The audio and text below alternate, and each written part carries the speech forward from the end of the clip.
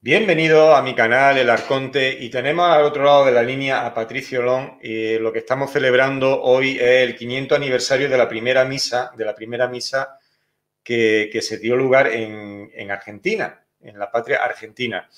Y celebramos este 500 aniversario, que esa fue la expedición, eh, la, la primera misa fue la expedición que dio la vuelta al mundo con Magallanes y Juan Sebastián Elcano.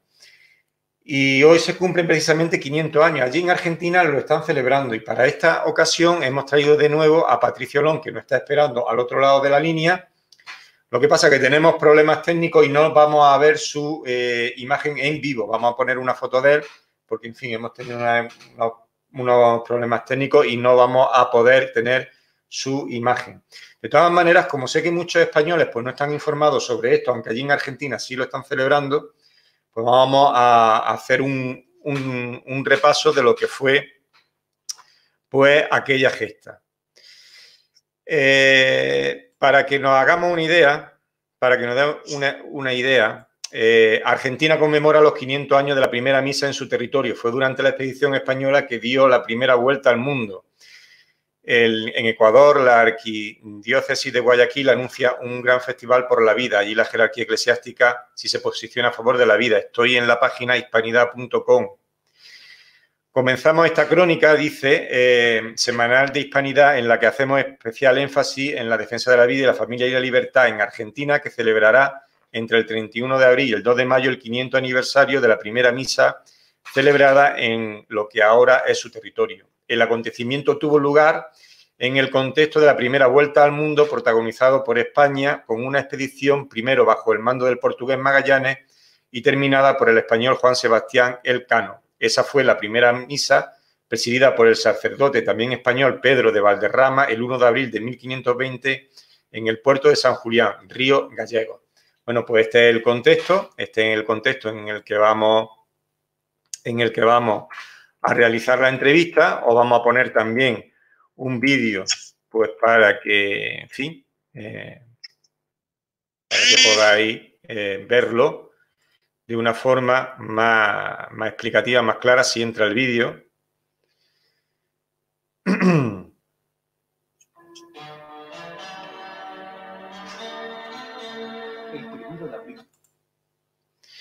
Vamos a ver. Eh, Vamos a ponerlo.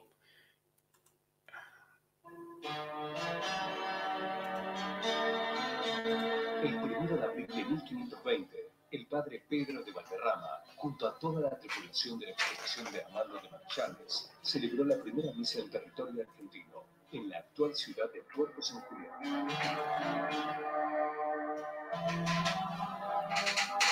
La expedición que desembarcó en nuestro territorio estaba compuesta por cinco naves o naos únicamente. La nao Victoria completó el viaje, regresando a España en septiembre de 1522. Desde aquellos tiempos, el Señor Jesús sacramentado se acercó a nuestra amada Patagonia y desde entonces sigue caminando con nosotros. Por tal motivo, iniciamos el año eucarístico, preparándonos a celebrar un acontecimiento de enorme importancia para nuestra fe. Celebremos en comunidad a Jesús Eucaristía, en cada misa, en cada adoración, en cada visita al sagrario, siempre atentos a los hermanos más débiles y vulnerables.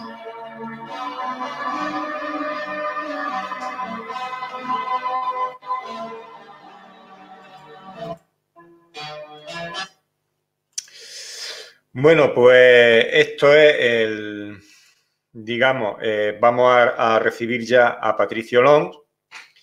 Patricio, buenas tardes. Hola, Pedro, Pedro, ¿qué tal? Un gusto charlar contigo y con todo el pueblo de España en esta fecha tan especial para argentinos y españoles, porque esta debería ser una gran fecha para ambos pueblos. Eh, ya que podemos decir que digamos, la primera gran fecha patria de España con América es el 12 de octubre 1492. Y después podemos decir que vienen las fechas particulares. Y la primera fecha particular importante para España y Argentina es el primero de abril de 1520. Apenas habían pasado 28 años de la gesta del gran almirante cuando eh, Fernando de Magallanes, que había ya eh, abandonado, había renunciado a su ciudadanía portuguesa con el permiso del rey de Portugal y había adoptado la nacionalidad española, eh, actuó como un fiel marino de, del rey de España. Y se lanzó a completar aquellos versos de José María Pemán en el himno de España, ¿no? Sobre el azul del mar, el caminar del sol. Y de esa manera, este coloso de los mares unió Oriente y Occidente. Eh, Magallanes, eh, cuando llega a la bahía de San Julián, eh, él creía que ese era el paso interoceánico, ¿no? Entonces hay una punta que se llama Punta Curioso porque es donde él pensó que podían encontrar el paso.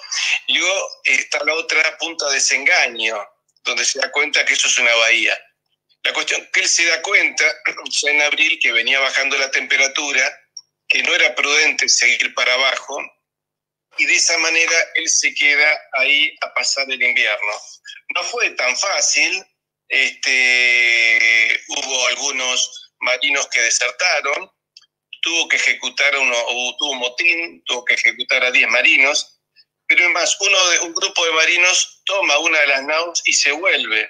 La, esa nave la lidera Esteban Gómez, que curiosamente pasa de las actuales Islas Malvinas, a las cuales titula como Isla Sansón, y a partir de 1522 esas islas quedaron dentro de la cartografía marítima española. Eh, luego los ingleses, muchos años después, eh, tratan de ocuparla una y otra vez. Pero el descubrimiento incluso de Malvinas lo hace la, misión de Magallanes. Eh, estos hombres realmente fueron extraordinarios, hombres de muchísimo coraje, que se lanzaron a cumplir aquel sueño de Isabel la Católica, ¿cierto? de dar luz a civilizatoria a un nuevo mundo. Y por otra parte, superaron todas las pruebas, las pruebas más duras que puede superar un, marino.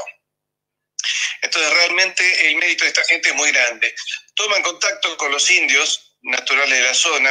Al comienzo la relación es buena, luego se torna un poco violenta. Tengamos en cuenta que los españoles habían sobrevivido a ocho siglos de combate contra los moros, así que digamos que no tenían mucha pedagogía para tratar con culturas distintas, ¿no es cierto? Pero este, es interesante porque ahí el capellán Pedro de Valderrama, natural de Écija, no se sabe a qué congregación, si era franciscano o dominico, el primero de abril de 1520, que fue un domingo de Ramos, él celebra la primera eh, misa en la, Argentina. Y eso es muy importante porque eso da indicación de que hay un nacimiento con bautismo de la tierra argentina. Bahía San Julián para los argentinos tiene otro gran valor. Ahí tuvimos una muy poderosa base de nuestra Fuerza Aérea Argentina, que durante la guerra de 1982 se destacó todo el grupo que se llamó Fuerza Aérea Sur y desde ahí despegaban nuestros valientes halcones de la Fuerza Aérea con aviones Mirage, Dagger o A4 Skyhawk a batir eh, la flota pirata invasora, ¿no? Que como eterno contraste de nuestra civilización, este, volvía a invadirnos y a osar olear el territorio argentino. Y nuestros aviones una y otra vez despegaron y bombardearon sobre esa flota. Eh, hace 38 años y 462 años después de la llegada de Magallanes. Sabemos que Magallanes luego muere en Filipinas y cuando ya estaba todo aparentemente perdido, el, un oficial de otra de las naves, eh, Sebastián Elcano toma la decisión de seguir navegando. Y de los 257 llegan 18 marinos tres años después a San Lucas de... Eh, eh, no me acuerdo, San Lucas. Sí, San Lucas de Barrameda. San Lucas de Barrameda, exactamente. Así que realmente podemos decir de que hoy, primero de abril, es nuestra primera fecha patria. Eh, así que realmente eh, creo que es muy importante que recordamos, recordemos esta, esta fecha. Mira, hay un verso del profesor argentino Antonio Caponeto eh, que él la plantea como una suerte de carta fundacional de la Argentina. ¿Quieres que te lo lea? Sí, sí, por favor, léelo. Dice así, todo es sur en la tierra, en el mar o en el aire. Sureñas las carillas, recamadas de abril meridional el molle, las retamas, los cactus, inaugurando verdes, alineando un pretil. Todo es sur sobre el agua, la garza furtiva, fundando con sus alas los senderos costeños, mediodía el paisaje soleado de gramíneas, son australes los talas, sufridos y abajeños. Lo vería sin somnes, ven llegar cinco naves, la mira el horizonte de San Julián al este, las ven los cormoranes con milenios de asombros, el patagón bravío que impacienta su hueste. La nau capitana lleva anclada en su casco, Trinidad, la palabra que le marca un destino. El mesana flamea la bandera de España, pero el mastil es de proa, rosa un cielo argentino. Bajan aquellos hombres como bajan los héroes, marcialmente callados, superando pesares, la cicatriz por yelmo cuando hasta el alma hiere, la dura peripecia clavada en los icares. Magallanes, quién sabe si cayó de rodillas, se añoró de San Lucas sus pueblerinos tramos, junto a un mapa sin bordes, su antañón calendario lo marcaba la fiesta del Domingo de Ramos. Como aquel que bendice los soplos de los vientos, su mano trazó el sitio del mayor abordaje, el altar con la cruz, el sagrario de los sirios, un retablo de océano hecho espuma y celaje. Imagino los brazos que acapearon las piedras, mojados de salitre, heridos de casquillo, para dar forma al ara de Gólgota y de Mesa, erigiendo en la cima austero el crucifijo. Pedro de Valderrama se reviste despacio. Se recuerda muy joven en su hogar esicano. El cíngulo lo aferra, la casulla le inviste. Se inclina con un beso sobre el misal romano contritos, genuflexos, marinos o soldados, veteranos de hazañas contra el moro tenaz, contemplan la hostia blanca, la contemplan la trigo, forman arcos de olivo sobre esa patria agraz. Algo que ahora llamamos lágrimas de alegría y que entonces fue estío, mojando las acacias, retumbó en el desierto ante el primer pan vivo, al ite misa es, decían, Dios gracias. Eh, este poema del profesor argentino Antonio Caponeto creo que pinta muy bien el espíritu de aquellos hombres, ¿cierto? Antonio Pigafetta, que era un italiano que iba junto a la misión de Magallanes y que sobrevivió y que escribe, va relatando todo, dice que le asombran los nativos, que los ven danzando y tirándose polvo y cantando porque le estaban dando la bienvenida a los marinos españoles. Ese fue el primer encuentro entre España y los nativos de la Patagonia.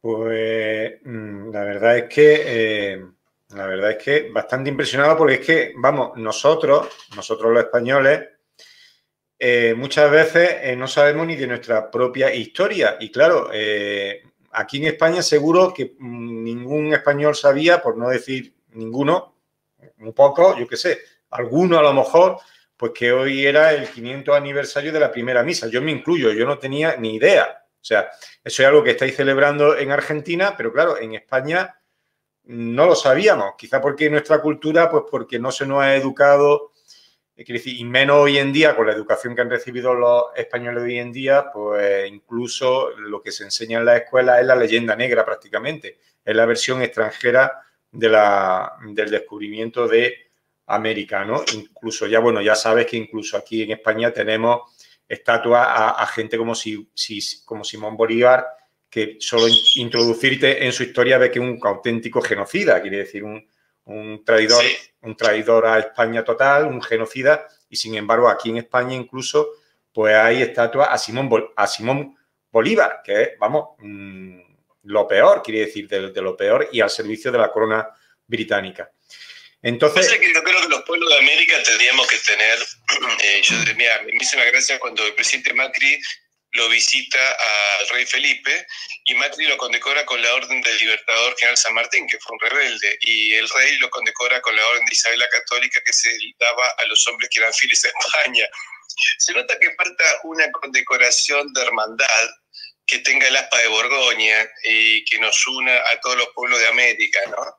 Yo digo, teníamos que tener la misma condecoración con alguna variante local, ¿no? La colombiana podría llevar el nombre de Blas de Leso, la argentina podría llevar también el nombre de Santiago Liniers, pero este, volviendo al momento este, yo creo que eh, es importante que estos hombres, Magallanes y Elcano, lograron unificar al globo terráqueo, así que, por un lado, eh, estos hombres que con aciertos y con errores, aciertos y errores humanos en sus conductas y también en su conocimiento geográfico, porque navegaron con una geografía errada y así todo lograron construir los caminos en los mares. Eh, primero creo que le tenemos que decir gracias, toda la humanidad le tiene que decir gracias. Y en particular como argentino, yo quiero agradecer a los tripulantes de la fragata Sebastián Elcano por el sentido homenaje que los tripulantes del buque Escuela de la Marina Española le hicieron a los 44 tripulantes del submarino Ara San Juan, eh, que fundido eh, desapareció en los mares del sur argentino. Y los marinos españoles tuvieron eh, la delicadeza de hacerle un homenaje a bordo de la, del buque escuela Fragata Sebastián Elcano. Así que vaya desde la Argentina un agradecimiento a los oficiales, suboficiales y tripulantes de, la fragata Sebastián Cano y vaya nuestro agradecimiento a Carlos V que impulsó esta misión, a Magallanes, que fue un el hijo de España, aún nacido en Portugal, y a Sebastián Elcano, que tuvo ese coraje increíble, no dudó, no, se no, no buscó el camino seguro, sino que dio toda la vuelta, bajó por eh, debajo de, de, África, hizo todo el Índico, perseguido por los portugueses que trataron de, eliminarlo, de capturarlo, de sabotearle toda la misión, y hambrientos, eh, cansados y con el rostro desencajado, volvieron a España. Verdaderos colosos, verdaderos colosos los tripulantes de, que siguieron a Sebastián Elcano y un grupito que luego llegó poco después, que había sido capturado por los portugueses, pero que años después también llegaron. Así que muchas gracias España por habernos traído la civilización y haber permitido que este nuevo mundo haya podido albergar los sueños de tantos antepasados nuestros que pudieron venir de distintos confines del mundo a América. Pues sí, porque estamos ahora redescubriendo no España, sino la hispanidad y mucha gente con estos vídeos, Patricio, está descubriendo que los españoles tenemos una misión histórica que viene en nuestro escudo Plus Ultra y que los españoles de hoy en día, pues que se han olvidado completamente y ven el escudo de España y no le ven sentido de ningún tipo. Y no sé, y el, azote de las drogas que hemos subido, que hemos sufrido todos los pueblos en estos últimos años, la falta muchas veces de patriotismo, todas las ideologías que no han venido desde el comunismo, el marxismo, ahora la ideología de género, han perdido completamente y, han separado la tradición de los más jóvenes y, viven en un mundo pues totalmente, en fin, con ideologías de muchos tipos, pero que no van a la raíz. Quiere decir, los españoles de hoy en día no saben qué significa plus ultra y no saben que los españoles tenemos una misión histórica y que, quiere decir, eh, la han olvidado por completo, la han, olvidado. Y hay que volver a, a que la redescubran de, de, nuevo. Y no solo mm, canales como El Arconte, que es español, ayudan muchísimo más, por ejemplo, pues tu labor, canales de Argentina, porque a lo mejor si yo, eh, muchas veces los españoles incluso tenemos cierto temor a que nos digan que somos demasiado exaltados, chauvinistas, en fin, que lo diga, diga alguien que no es español, incluso pues eh, tiene más valor, incluso. ¿no? Y como... Bueno, ahí está. Yo, soy argentino y de apellido francés, así que a mí por ese lado el chauvinismo no, no me van a poder correr. Pero en realidad si no, si no hubiese sido por España, bueno, eh, evidentemente el nuevo mundo habría terminado siendo una extensión de China o del Islam, sería otra cosa.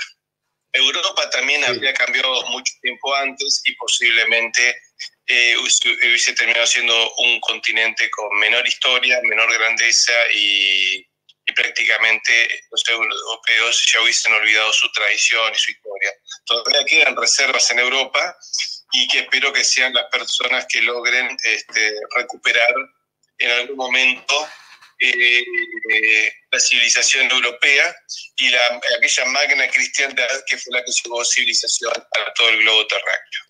Sí, y una cosa que, quiero mm, remarcar, porque hoy mm, no hemos olvidado de nuestra historia, quería decir, el mayor paso de la historia de la humanidad, que fue el cruzar el Atlántico y llegar a, América por parte de España, solo se hizo después de la conquista de Granada. Quiere decir que sin la conquista de Granada mm, no se hubiera podido llegar a realizar ese hecho histórico.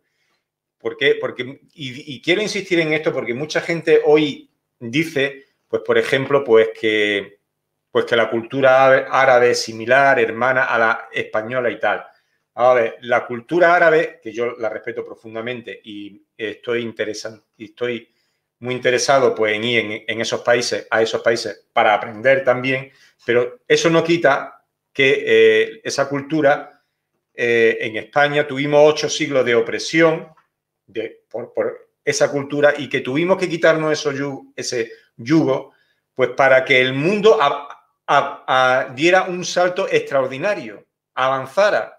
Fue la expulsión, perdón, fue la conquista de Granada y posteriormente fue el gran paso que dio la humanidad. Quiere decir que... Eh, así es. Por eso... incluso, eh, sí, 1492 es el año de la recuperación de Granada, el año del descubrimiento de América y el año de la eh, gramática de Antonio Nebrija, sobre cuya gramática eh, se expandió un imperio y que fue la base de la gramática de las lenguas americanas que no eran lenguas escritas.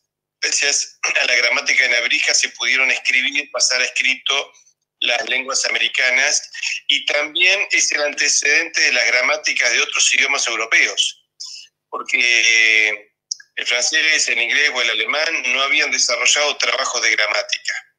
Así que en eso es muy importante. Y por otra parte, hay que recordar, sobre todo a los ingleses, que cuando la llegada de la victoria de los reyes católicos en Granada llega a Londres, en Londres las campanas de las iglesias empezaron a repicar y en Westminster se hizo una misa para celebrar el triunfo cristiano en Granada.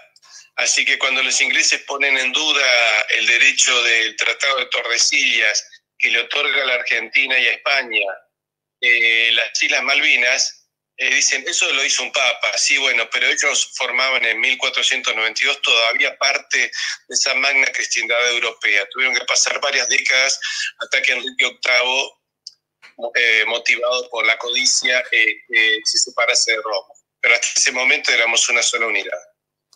Una sola, una sola unidad. A mí me, ha gustado mucho, Patricio, tu propuesta de que haya un símbolo que nos una a todos los, hispanos y incorporar en todas las banderas nacionales de los países hispanos la aspa de Borgoña, de la Cruz de Borgoña, creo que sería una iniciativa pues, que nos empezaría a unir de una forma simbólica. Quiere decir, yo veo esa una iniciativa que ahora mismo deberían, si nos escuchan presidentes de gobierno, que yo creo que sí, porque este canal, eh, bueno, y lo sabe toda la audiencia, que este canal eh, no es famoso, que lo ven millones de personas, pero sé que lo ven las personas suficientemente informadas y entre ellas también lo ven gente del gobierno. Quiere decir, pues no sería, eh, sería importante pues que se empezara por estos actos simbólicos y, que, y de, volver a respirar la hispanidad. Y uno de esos actos sencillos sería incorporar en cada una de nuestras banderas nacionales pues la aspa de Borgoña, porque realmente el símbolo fue la bandera del imperio español, realmente lo que nos une.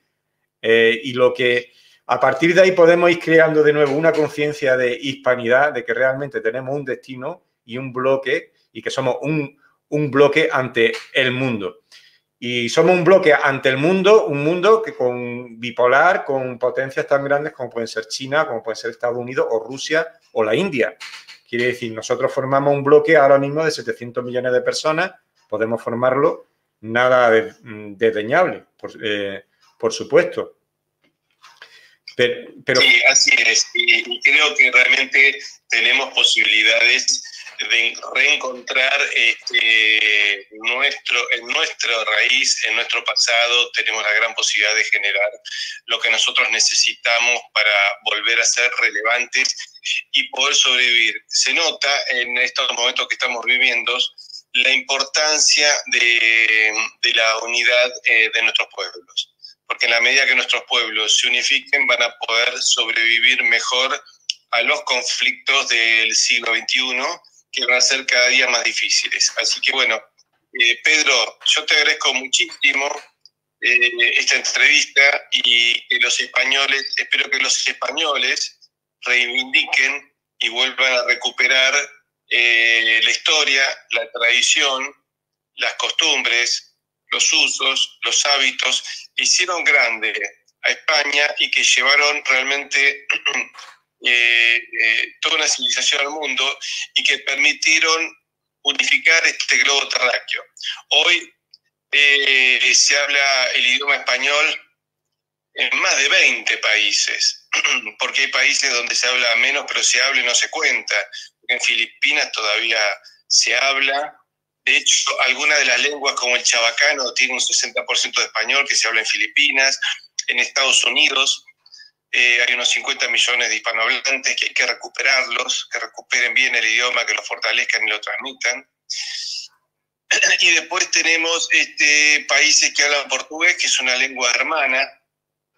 Como decía Camões, el gran escritor portugués, decía, españoles somos todos, algunos castellanos, otros andaluces, otros portugueses.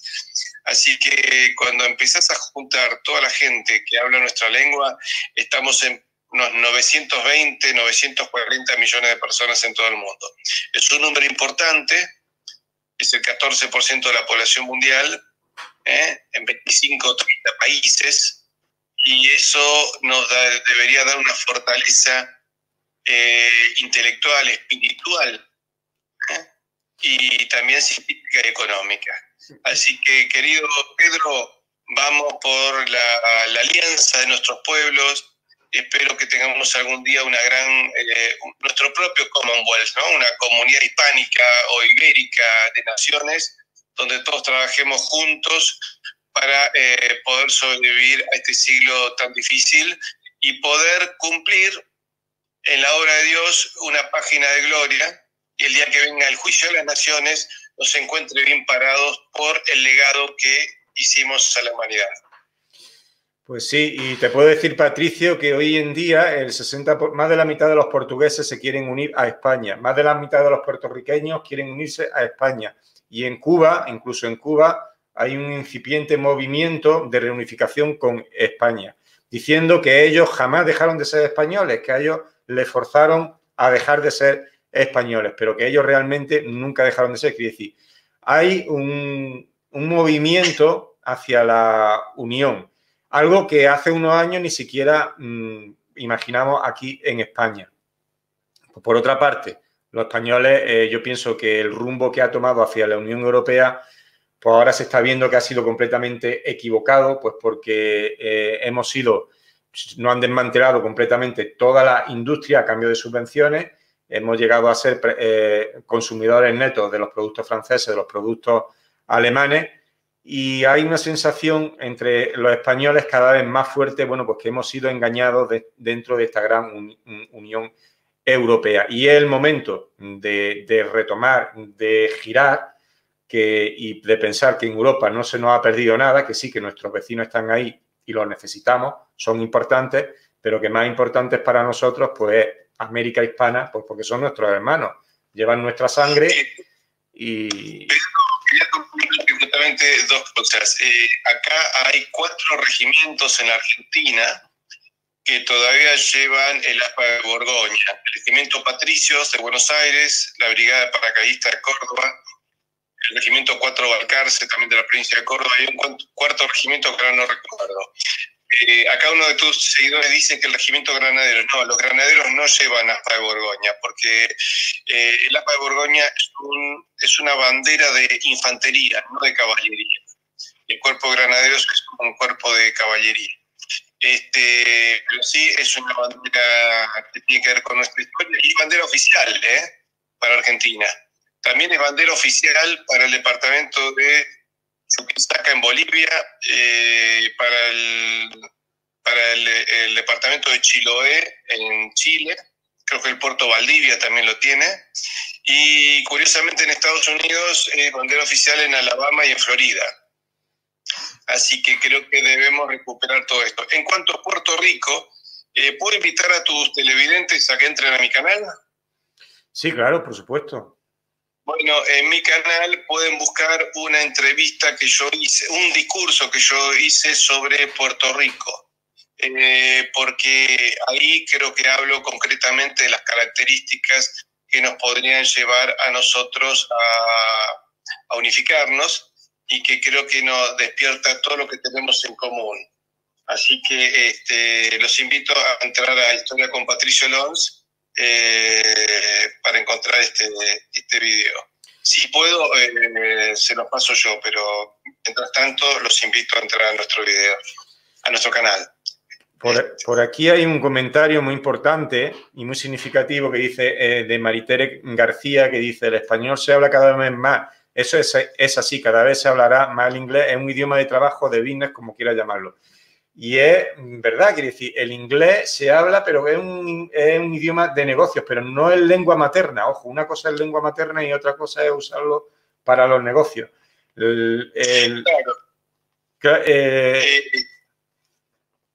sí. El idioma español, en los países de habla hispana, es el idioma de la cuna desde que el vientre materno, es el idioma de la casa. En algunos países del Commonwealth el inglés es el idioma del Estado, pero no es el idioma con que las madres le hablan a sus hijos. Entonces, este, esa es la, diferencia. Ahora, una pregunta, otra cosa que yo te quería comentar. Yo creo que en este momento eh, me parece que es muy importante en este momento que hay una crisis sanitaria a nivel mundial, es muy importante que valoremos justamente mucho más las condiciones de nuestra, de nuestra unidad, porque pensar que nos hubiese hecho mucho más fuerte para tomar todas medidas en conjunto. Mira si tuviéramos, por ejemplo, un presupuesto unificado de investigación sanitaria. Si hubiéramos tenido entre todos nuestros países un gran instituto para enfermedades catastróficas para la investigación y la prevención. Entonces tendríamos, como tiene Estados Unidos en el estado de Atlanta, Entonces, algo que realmente eh, nos ayuda a todos. Argentina creó los cascos blancos para emergencias y catástrofes. Mira si tuviéramos los cascos blancos hispánicos que ante estas circunstancias se movilizasen médicos para los lugares donde hay mayor concentración de, enfermedades, ¿no? Y poder colaborar entre todos juntos. Entonces, este, creo que todo lo que sea ayudarnos entre nosotros. Recordemos hace unos años un incendio terrible que hubo en Chile y que volaron bomberos de España a colaborar porque se citaron de todas partes del mundo para pararlo. Y recuerdo eh, que cuando los bomberos españoles estaban en, en el aeropuerto de Santiago de Chile, preparándose para volver a España, todo el pueblo chileno salió a vivarlo y aplaudir y gritar Viva España. Entonces, este, creo que los americanos debemos reivindicar ese pasado eh, con sus glorias y sus penas, por supuesto, con sus brillos, sus grises y sus oscuridades, eh, recuperar todo, porque todo hace al aprendizaje de civilización eh, para mejorar los aciertos y corregir los, errores. Y creo que los españoles también tienen que tienen la obligación de volver a amar a España, a, a, ondear su bandera, eh, la roja iguala y también la zapa, eh, la de Borgoña para ondearla junto a nosotros. Desgraciadamente, Patricio, aquí en España ha habido un, un discurso muy, muy negativo de yo lo diría de los llamados afrancesados, de los modernos. eh, sabes que con la invasión de Napoleón, pues se utilizó un término pues, para poner a aquellas personas que eran ilustradas, entre comillas, porque pertenecían, digamos, a la masonería francesa, se guiaban por ello. Y, hoy en día eh, ese término de afrancesado se le puede poner a algunos escritores españoles, a algunas personas ilustradas de hoy en día, incluso y que ese pensamiento de que esa visión de que el español es un pueblo salvaje, un pueblo que se ha quedado en el pasado, en el oscurantismo, ese discurso afrancesado todavía hoy en día lo manejan eh, incluso personas intelectuales, que, las vemos en escritores, escritores famosos, periodistas, eh, y siguen inculcando ese tipo de, ideas que son tan nocivas y que al final lo que hacen es que la gente no crea en su propia patria, cuando es todo lo contrario. Y, y a ese discurso hay que darle la vuelta, sobre todo destapar ese discurso, ¿no? Destaparlo y poner este discurso es falso. Eh, eh, quiere decir, el español no es un pueblo de salvajes ni de ignorantes, el, español es un pueblo noble, muy noble, con sus defectos, pero digamos que para mí yo pienso que es uno de los pueblos más nobles de la tierra. Y, y que, bueno, con sus defectos ha hecho mm, pues las mayores hazañas que se conocen. O sea, la historia se escribe prácticamente en español.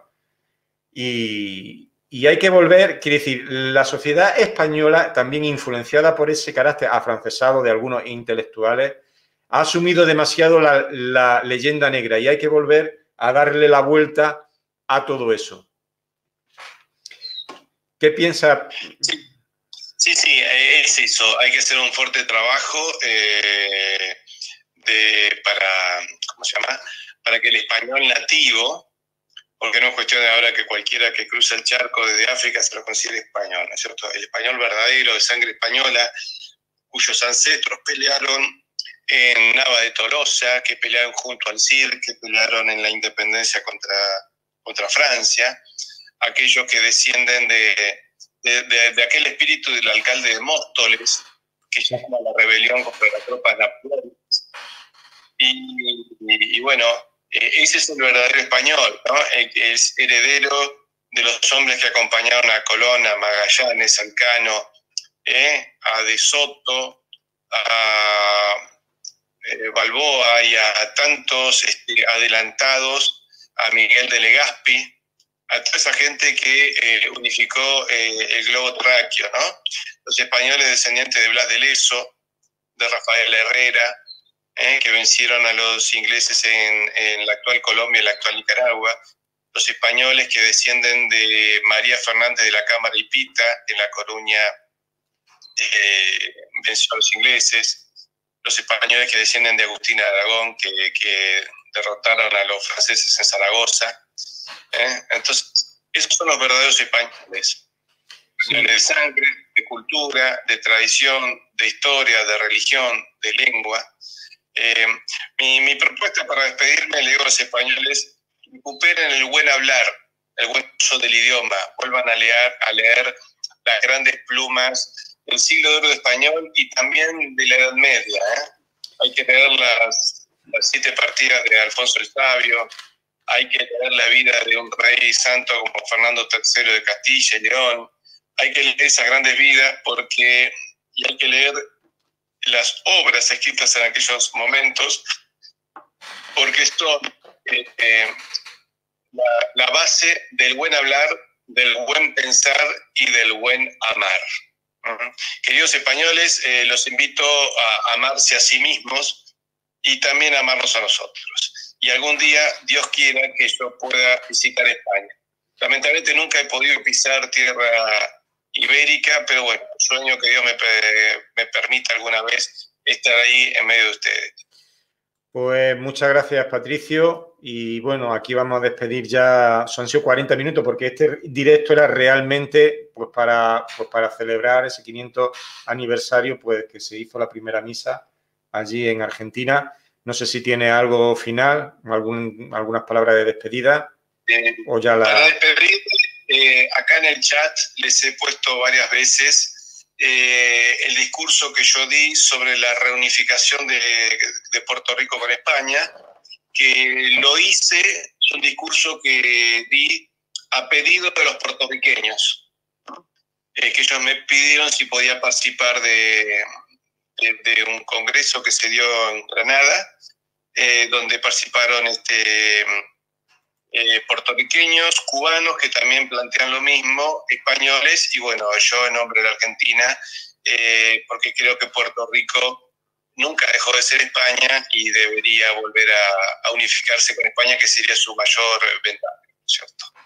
Pues muchas gracias, Francisco, por eh, Patricio, por, este directo. Lo despedimos ya aquí, después lo despediré yo en, privado. Y muchas gracias a todos por estar de nuevo aquí en el, en el Arconte. Eh, tenemos que volver a redescubrir España. Si lo dijera un español, pues a lo mejor no le haríamos caso, pero ya ves que este mensaje lo, están lanzando desde, el otro lado del charco, porque en, definitiva es que sienten la sangre y ya está, sí que se trata de eso. Sienten la sangre y, y, punto, somos su sangre y, la sangre tira, sí o sí. Es así. Eh, Pedro, eh, para despedirme, Pedro, dime. quiero despedirme recordando los españoles. El militar español más condecorado del ejército de España con nueve laureadas de San Fernando, y nueve condecoraciones laureadas de San Fernando, y había nacido en la provincia de Córdoba del Tucumán, antiguo virreinato de la Plata. ¿Cómo se llamaba? ¿Puede, repetir el, nombre? General Gutiérrez de la Concha. Tiene un monumento ecuestre muy importante en Madrid Así que el, general más condecorado del ejército español es un proto argentino. Y también les recuerdo que el 12 de octubre se celebra en toda la hispanidad por iniciativa del presidente argentino don Hipólito Yrigoyen, que fue condecorado con la Orden de Isabel la Católica. Así que es más lo que nos une que los que nos separa, y Argentina ha hecho siempre su aporte en pro de la reunificación la alianza y la amistad de los pueblos hispánicos. Pues muchas gracias, eh, Patricio. Ya sabes que te esperamos más veces en el, canal El Arconte. Esta es tu casa. Y, aquí despedimos esta transmisión y en privado ya despediré yo a Patricio. Muchas gracias por este vídeo y hasta otra ocasión.